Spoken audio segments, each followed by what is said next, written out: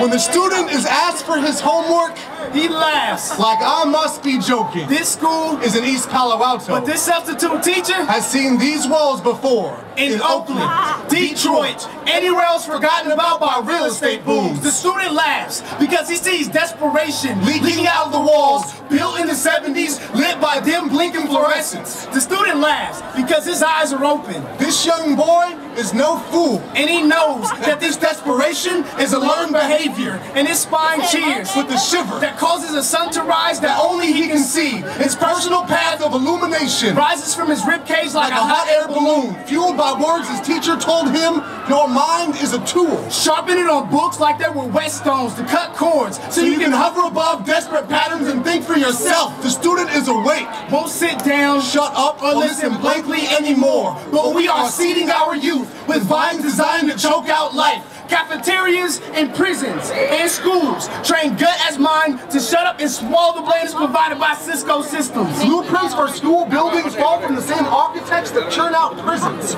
Both structures clench around the necks of their inhabitants, strangling enthusiasm that would grow outside the bricks, stacked, lining student prisoners in cell or desk, accustomed to jumping at the sound of a bell. Off to the next detention center. It is time for a wake-up call, but we are seeding our youth with vines designed to choke out life and are surprised that babies drop out of teenagers as teenagers drop out of high school. Surprised as students with numb noses and punctured veins to punctuate the I don't give a fuck attitude that drains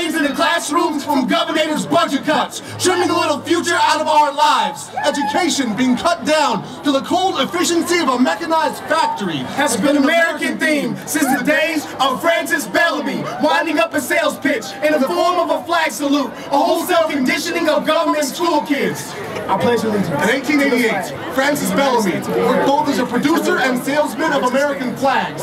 She was obsessed with the cold efficiency of the military and went to school, along with everything else, to mirror this cold precision. His mission was to create an industrial army, and he saw the flag salute as the beginning of the grind of blind obedience in the students. In 1888, there was one slight difference in the flag salute. Students' arms were raised to honor the Republic straight from the shoulder. Francis Bellamy, the program pirate, infamous flag dealer, left his mark like the lynch letter, slanging the image of the red, white, and confused. Francis Bellamy owns the copyrights to the Pledge of Allegiance. Sold it to government schools to create armies of industrial, militant-minded Pavlov's lapdogs instead of what should be students. Classroom rows of desks in pod fill formation preceding the matrix. Students are force-fed, falsified information while they sit entranced. It is time for a wake-up call. Instead of a pledge to empire, how about a pledge to what moves us? Freedom from books bound by chapters that only speak of Eurocentric beginnings. I'll pledge allegiance to the light of knowledge so that it may bounce off people like they were mirrors, transforming any classroom into this one.